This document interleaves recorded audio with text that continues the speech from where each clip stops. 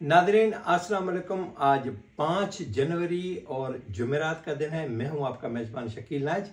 सबसे पहले हम आपकी खिदमत में एक बहुत बड़ी ब्रेकिंग न्यूज़ पेश कर रहे हैं। नादरीन पिछले एक हफ़्ते में नेशनल सिक्योरिटी कमेटी के दो इजलास हो चुके हैं, जिसमें वाज तौर पर सिर्फ़ दो एजेंडाओं पर बात हुई है। एक एजेंडा था कि आम इंतबात कब कराए जाएँ और दूसरा एजेंडा आईएमएफ का था। जो सियासी क्यादत थी, वज़ीर अजम थे या वफाकी वजरा, उन्होंने मिलिट्री लीडरशिप के सामने सिर्फ़ एक बात रखी है कि अगर इन्होंने ये तमाशे, इमरान खान ने ये मचाए रखने हैं और ये शोर शराबा कर रखे हैं तो फिर ना तो आईएमएफ से बातचीत हो सकती है और न ही मुकर वक्त पर इंतबात हो सकते हैं, क्योंकि आइन इसका मुकम्मल अख्तियार देता है कि इंतबात एक साल मुलतवी किए जा सकते हैं। सियासी क्यादत ने वाजे किया है कि चूँकि इमरान खान को पाला भी इस्टबलिशमेंट है और अब उसको नकील भी इस्टबलिशमेंट डाले। फौजी जनरलों ने उसका इतना मन बढ़ा दिया, उसको इतना आगे सर पे चढ़ा दिया कि वो अब उस सर से उतरने के लिए तैयार नहीं है। मुल्क को उसने तहस नहस कर रखा है। मुल्क का सारा अमन अमान उन्होंने तबाह करके रखा है। उन्होंने जो मीशत को तो जो वैसे साढ़े तीन साल में बेड़ा गर्क किया। इस सालात में मौजूदा हुकूमत ना तो आई एम एफ़ से बातचीत कर सकती है और ना ही उनके मुतालबे मान सकती है और ना ही जो मुकर वक्त पर उस पर इंतबात करा सकती है। इसलिए बेहतर है इस्टबलिशमेंट अपनी पॉलिसी पर नज़रसानी करे।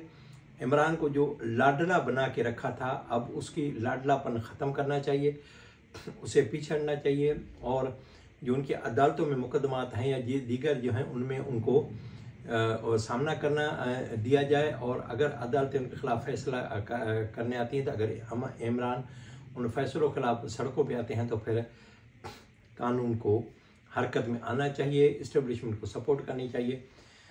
नज़र खबर यह है कि इस्टबलिशमेंट ने इन दोनों इजलासों में वफा की हुकूमत की तजावीज़ की हिमायत कर दी और कहा है कि अगर इमरान खान को अदालतें कोई भी रिलीफ देती हैं या उनको हम्म, सजाएँ देती है दोनों सूरतों में इस्टबलिशमेंट जो है वो अदालती फ़ैसलों की हिमायत करेगी उसको तस्लीम करेगी और अगर इन फैसलों के ख़िलाफ़ हम्म, कोई अमन अमन हाथ में लिया गया तो उसको सख्ती से निपटा जाएगा।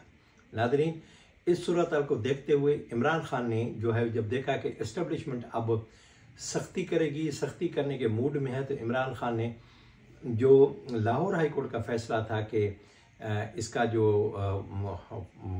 एतमाद का तहरीक एतमाद का वोट लेना है पर चौधरी परवेज लाई को, आज चौधरी परवेज लाई ने ये ये कह दिया है कि वो जो है वो किसी भी तौर पर एतमाद का वोट नहीं लेंगे।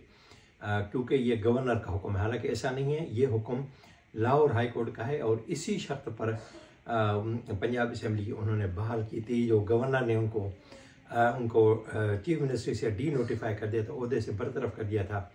इस शर्त पर कि वो इसम्बली नहीं तोड़ेंगे और इसम्बली में जाकर अतमाद का वोट देंगे अतमाद के वोट के हवाले से परवेज लाई को एक बहुत बड़ी जो है उसका शिकस्त का सामना है, उसको बड़ी परेशानी का सामना है, क्योंकि जो पंजाब इसम्बली की दो खातन हैं, और उन दो खातन जो एम पी एज़ हैं, उन्होंने क्लियर कट वहाँ कह कह दिया कि हम पाकिस्तान तहरीक इंसाफ से ताल्लुक़ रखती हैं, लेकिन हम परवेज लाई को वोट नहीं दे सकती। तो ये सूरत ऐसी है कि ये तो सिर्फ़ दो खातन सामने आई हैं। इस तरह की कई जो दीगर खातन हैं, वो भी, या दीगर जो अरकान हैं पाकिस्तान तहरीक इंसाफ के, वो भी और जो मुस्लिम विकाफ के हैं, वो भी सामने आएँगे।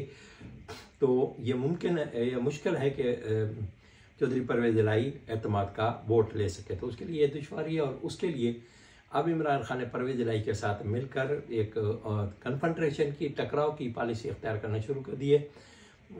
तीन दिन पहले जब बिजली के बचाने के हवाले से मार्केट रात को आठ बजे बंद करने का ऐलान किया गया था तो इमरान खान के जो शहर पर इमरान खान के हुक्म पर पंजाब की जो हुकूमत है और खैबर पख्तूनख्वा हुकूमत है, उन्होंने कहा कि हम मार्केट रात को आठ बजे बंद नहीं कर सकते। तो वो एक टकराव की पॉलिसी पर गामजन है, उस पर उनका अमल दरामद शुरू किया। अब देखना यह कि इसका हल क्या होता है और ये इसका मनतक इजाम क्या होता है। लेकिन ये सूरत हाल है कि अब इमरान खान पर जो है वो सख्ती शुरू हो गई है। इमरान खान की जो इस्टबलिशमेंट की जो पुश्त पनाही का इल्ज़ाम था, वो अब ख़त्म हो गया है और इस्टबलिशमेंट अब जो है वो कानून पर अमल कराएगी। और इमरान खान जो एक तमाशा मचाते थे, सड़कों पर आने का अब उसको सख्ती से कुचल दिया जाएगा। उसकी जो एक बागाना सोच है या उसकी जो इस तरह की इंतकाम लेने वाली सोच है, अब उसका उसको बर्दाश्त नहीं किया जाएगा और उसके साथ वही किया जाएगा जो कानून कहेगा, जो हुकूमत हुक्म देगी